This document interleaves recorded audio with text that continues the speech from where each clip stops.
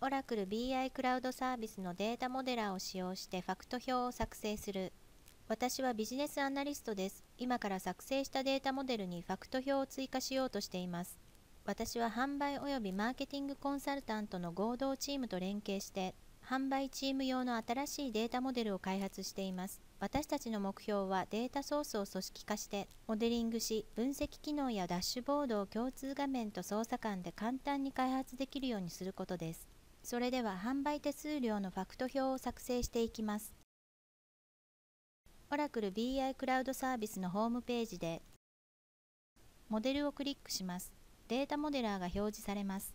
変更を加える前にデータモデルをロックする必要があるのでロックして編集ボタンをクリックします。確認メッセージが表示されます。データモデルがロックされたことを確認します。データモデラーの左ペインにデータベースメニューが表示されます。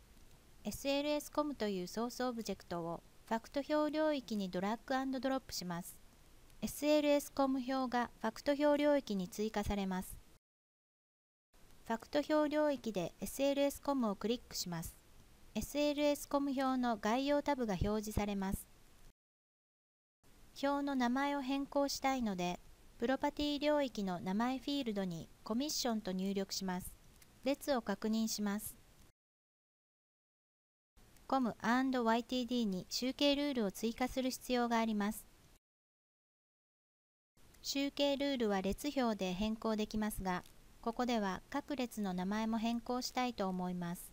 すべて編集をオンにするとほとんどの更新を一つの場所で実行できます。表エディタが表示されます。列をもう一度確認します。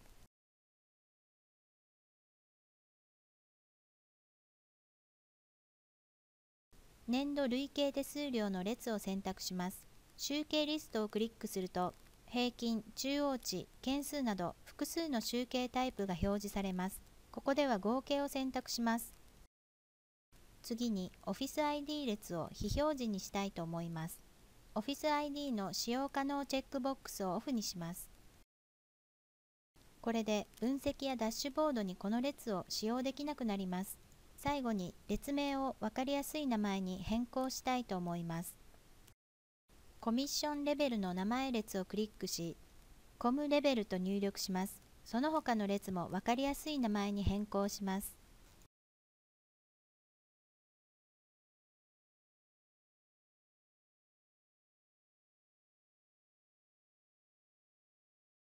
完了をクリックします。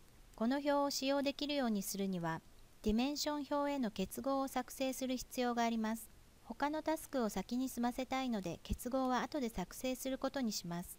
今回の作業ではコミッションというファクト表を作成し、年度累計手数料の集計ルールを追加した後、OfficeID を使用不可にし、使用可能な列の名前を分かりやすい名前に変更しました。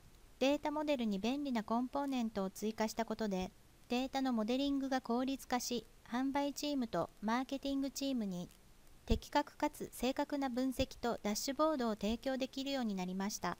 ご視聴ありがとうございました。